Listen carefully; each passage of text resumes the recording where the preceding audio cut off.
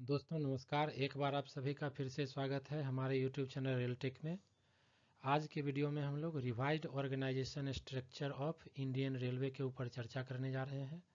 दोस्तों, यदि आप रेलवे के डिपार्टमेंटल एग्ज़ाम की तैयारी कर रहे हैं, अथवा यदि आप स्टूडेंट हैं तो ये वीडियो आप लोगों के लिए बहुत ही महत्वपूर्ण है।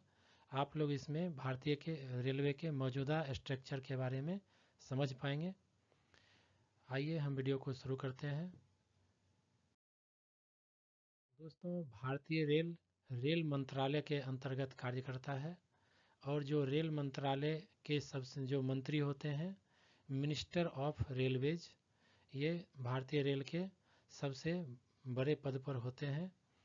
उसके बाद आते हैं minister of state for railways, यानी कि रेल राज्य मंत्री। दोस्तों, भारत में रेल मंत्री के अलावे दो रेल राज्य मंत्री भी होते हैं चूँकि भारतीय रेलवे एक बहुत ही बड़ा संगठन है तो इसके कार्य को ठीक ढंग से सुचारू पूर्वक संपन्न करने के लिए रेल मंत्री के अलावे दो रेल राज्य मंत्री भी होते हैं। उसके बाद आते हैं रेलवे बोर्ड। उसके बाद जो होता है, रेल मंत्रालय के बाद रेलवे बोर्ड आता है और रेलवे बोर्ड के जो सबसे बड़े अधिकारी होते हैं, वो होते हैं chairman and CEO railway board. यानी कि रेलवे बोर्ड के चेयरमैन उन्हीं को हम लोग chief executive officer railway board के नाम से भी जानते हैं। अभी चेयरमैन के अलावे रेलवे बोर्ड में चार मेंबर भी होते हैं तो आइए हम लोग जानते हैं इस वीडियो में कि कौन कौन से चार मेंबर रेलवे बोर्ड में होते हैं। तो दोस्तों, सबसे पहला जो होते हैं, वो होते हैं member traction and rolling stock, यानी कि member T and R S. इसके बाद जो है इसके बाद आते हैं मेंबर इंफ्रास्ट्रक्चर इनको हम लोग मेंबर इंफ्रा भी बोलते हैं। फिर आते हैं member operation and business development इनको हम लोग member O and B D भी बोलते हैं। इसके बाद आते हैं मेंबर फाइनेंस इनको हम लोग एम एफ़ भी बोलते हैं। तो ये थे चेयरमैन के अलावे रेलवे बोर्ड के चार मेंबर दोस्तों दोस्तों रेलवे बोर्ड में इन चार मेंबर के अलावे कुछ ऐसे भी अधिकारी होते हैं जो कि डायरेक्टली रिपोर्ट करते हैं चेयरमैन रेलवे बोर्ड को। तो आइए हम लोग जानते हैं कि वो कौन कौन से अधिकारी हैं जो डायरेक्टली रिपोर्ट करते हैं सीईओ अथवा चेयरमैन रेलवे बोर्ड को।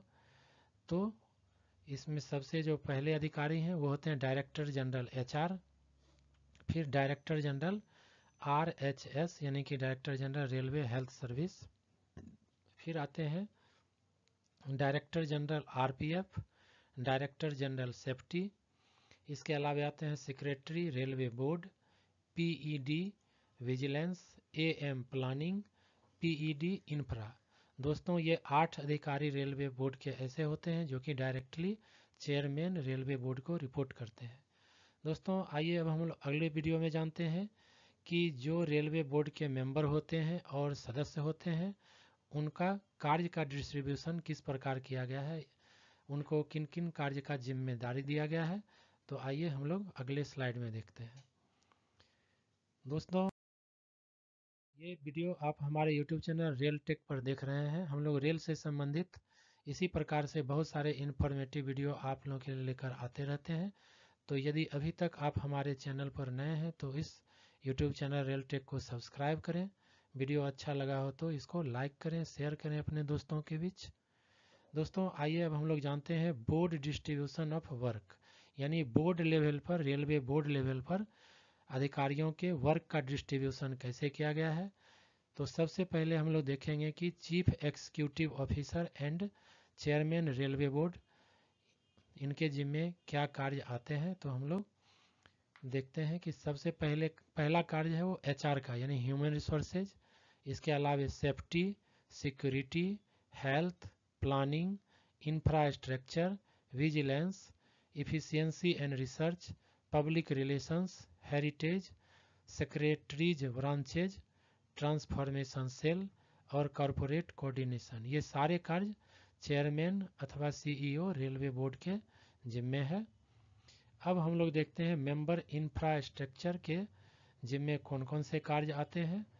तो पहला कार्य है वर्क्स सिविल इंजीनियरिंग ब्रिज इसके अलावे जो है signal and telecom land and amenities station development railway electrification ये सारे कार्य जो है मेंबर इंफ्रा के जिम्मे है।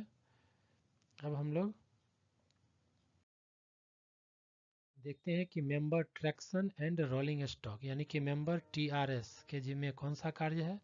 तो दोस्तों प्रोडक्शन यूनिट्स यानी भारतीय रेलवे में जितने भी प्रोडक्शन यूनिट हैं जहाँ पर कोच अथवा इंजन अथवा व्हील का मैन्युफैक्चरिंग होता है जैसे ICF, RCF, MCF, BLW, CLW, wheel and axle plant ये सारे प्रोडक्शन यूनिट हैं। ये मेंबर टीआरएस के ही अधीन कार्य करते हैं। उसके बाद है मैकेनिकल वर्कशॉप जितने भी मैकेनिकल वर्कशॉप हैं coaches locomotives train sets environment and housekeeping electrical maintenance of coaching stock इसके अलावा traction distribution power supply renewable energy material management ये सारे कार्य मेंबर टीआरएस के जिम्मे आता है।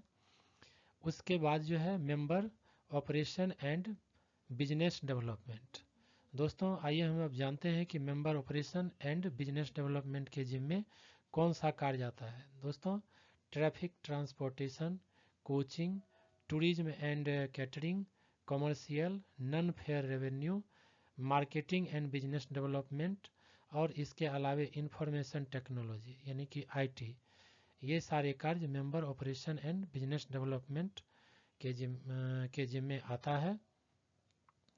दोस्तों ये वीडियो आप हमारे यूट्यूब चैनल रेल टेक पर देख रहे हैं। यदि अभी तक आप हमारे चैनल पर नए हैं तो चैनल को जल्द से जल्द सब्सक्राइब करें, अपने दोस्तों के बीच में शेयर करें। और वीडियो आप लोगों को अच्छा लगा हो तो इस पर लाइक ज़रूर करें। तो आइए, अब हम लोग जानते हैं कि मेंबर फाइनेंस का कार्य क्या है। तो दोस्तों मेंबर फाइनेंस के जिम्मे accounts finance budget revenue statistics and economics economic unit ये सारे कार्य मेंबर फाइनेंस के जिम्मे आता है।